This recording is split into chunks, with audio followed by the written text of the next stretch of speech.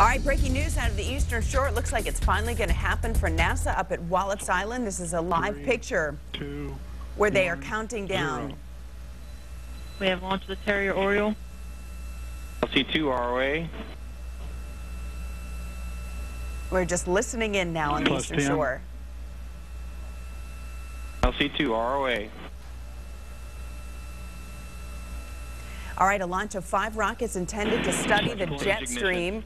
They have put off this launch several times and even changed the launch window uh, from 2 in the morning until 5 a.m. And you can see at Plus 30. 4:58, 48, they were Yeah. running out of time if this didn't happen in the next couple of minutes. It just made it inside the window, and that appear, apparently that is the first of five rockets to be launched to uh, reach an altitude of about 60 to 65 miles above the Earth. They'll be measuring the winds of the jet stream and reporting back their findings, and each launch should take place within five-minute intervals, and we'll be watching that for you.